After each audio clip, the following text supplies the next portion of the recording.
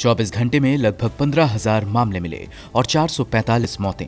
कुल संक्रमित मरीजों की संख्या चार लाख पच्चीस हज़ार के पार हुई। गलवान वैली विवाद पर विपक्षी दलों ने संसदीय समिति की बैठक बुलाने की मांग की। बीजेपी ने कहा, कोरोना काल में बैठक मुमकिन नहीं। चीनी सैनिकों की घुसपैठ न होने का दावा करने वाला पीएम मोदी का बयान पीएमओ ने आधिकारिक बयान से डिलीट किया। कांग्रेस नेता कपिल सिब्बल ने सवाल उठाए। तेल कंपनियों ने लगातार सोलहवें दिन भी पेट्रोल डीजल की कीमतें बढ़ाई। दिल्ली में एक लीटर पेट्रोल उन्यासी रुपए छप्पन पैसे का हुआ। मणिपुर में सरकार बचाने के लिए असम सरकार के मंत्री हेमंत बिश्वास शर्मा इम्फाल पहुँचे। मेघालय के सीएम कोनराड संगमा भी साथ में।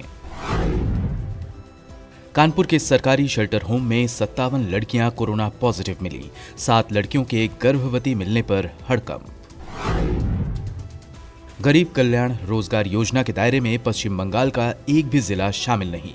लोकसभा में कांग्रेस नेता अधीर रंजन चौधरी ने पीएम मोदी को चिट्ठी लिखी। कोरोना वायरस ने अमेरिका में अब तक एक लाख बाईस हज़ार लोगों की जान ली। ब्राज़ील में मौत का आंकड़ा पचास हज़ार हुआ।